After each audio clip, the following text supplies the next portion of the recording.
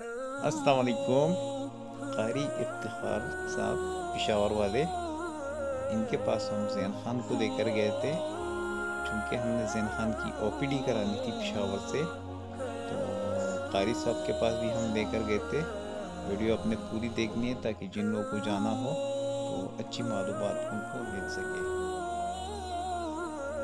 तेलीसी में पेशेंट्स की सपोर्ट करें। चैनल सब्सक्राइब करें, बेल के आइकन को ज़रूर क्लिक करें। शुक्रिया। जी, चूँकि हमें पिशावर आना था, जैन खान की ओपीडी कराने के लिए, जैन खान, जैसे कि आपको पता है कि तेलीसी में मेजर के पेशेंट है तो हमें पिशावर आना पड़ता है इसके इलाज मुआवजे के सिलसिले में। तो इस दफ़ा जब हम पिशावर आ रहे थे तो लोगों ने मुझे काफ़ी रिकमेंड किया इफ्तार कारी साहब के बारे में। कि वैसे भी आप जा रहे हैं तो जैन ख़ान को आप ज़रूर लेकर जाइएगा उनके पास। तो हम भी वहाँ चले गए। मैं पिशावर पहुँचा। पिशावर से मैंने टैक्सी बुक कराई और उसकी तरफ़ रवा दवा हुए। तो रास्ते में ख्याल आया कि ये वीडियो ज़ाहिर सी बात है काफ़ी लोग, काफ़ी इफ्तार साहब जो एक वायरल हो चुके हैं सोशल मीडिया पर भी। तो आपके साथ अपना एक्सपीरियंस भी शेयर करूँ ताकि किसी को अगर आना हो या किसी को अगर लेकर आना हो तो उनके लिए थोड़ी सी आसानी हो। कारी इफ्तार साहब पेशावर बटाबेर के रिहाइशे हैं। इनका अपना ज़ाती घर भी यहाँ पर है और इनका मदरसा भी यहाँ करीब ही है। तो अगर ए, कुछ दिन इनके मखसूस होते हैं लेडीज़ के लिए और कुछ जेंट्स के लिए। तो अगर तो आपको लेडीज़ लेकर आनी है तो इस बात का ख्याल रखें कि दिन लेडीज़ का ही हो सिर्फ़। और जेंट्स अगर आना चाह रहे हों तो इस दिन, इस बात का ख्याल रखें कि सिर्फ़ जेंट्स वाले दिन ही आए। रास्ता काफ़ी कच्चा और दुशवार गुजारता। रास्ते में जगह जगह पानी वाले लोग भी बैठे हुए थे, जो कि पानी सेल कर रहे थे। तो यहाँ से अगर आपको जाना हो तो यहाँ से आप पानी भी परचेज़ कर सकते हैं दम करवाने के लिए यहाँ से लोग लेकर जाते हैं। तो वैसे कारी साहब मना करते हैं कि पानी की बोतलें ना लाया करें। आ, मतलब वो दम करते हैं और साख वगैरह देते हैं। ये आपको लोगों का हजूम नज़र आ रहा होगा। ये कारी साहब के घर के बाहर लोग खड़े हैं। साख लेने के लिए लाइनों में लोग लगे हुए हैं। और ये गाड़ियाँ भी आपको काफ़ी सारी नज़र आ रही होंगी। काफ़ी दूर दूर से लोग आते हैं। ज़्यादातर लोग अपनी ही कन्वेंस लेकर आते हैं अपनी गाड़ी लेकर आते हैं।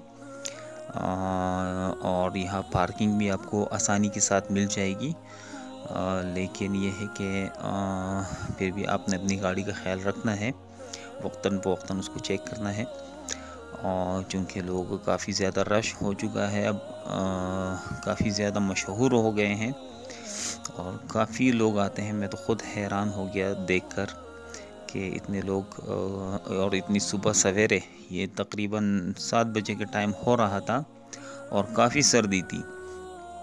सो लिहाजा हम तो आए हुए थे। हमने कहा कि आपके साथ ये एक्सपीरियंस शेयर करें। काफ़ी लोगों का आना जाना लगा हुआ था।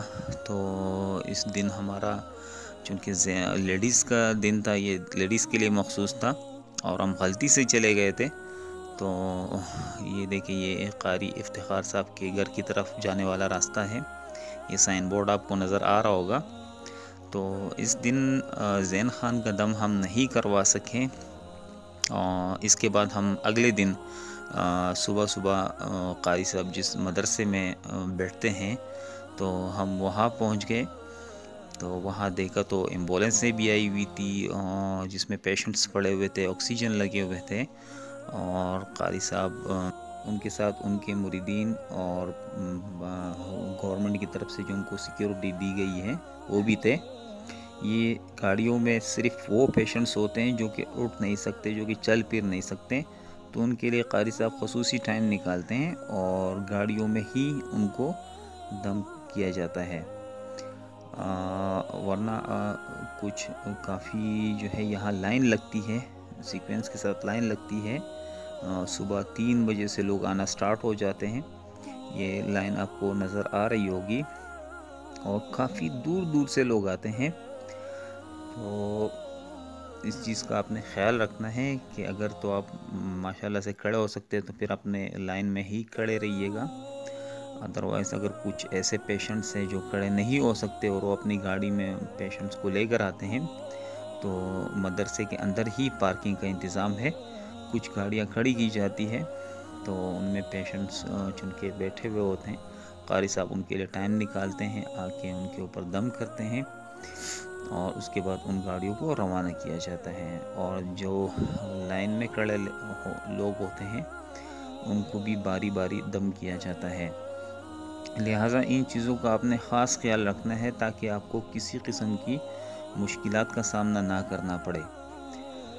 कारी साहब, माशाल्लाह से काफ़ी लोग सेहतियाब हो चुके हैं तो हमने भी ट्राई की है अल्लाह पाक जहन को भी सेहत का मिला नवाजे, और जो लोग बीमार हैं सबको अल्लाह पाक शिफा याब करें।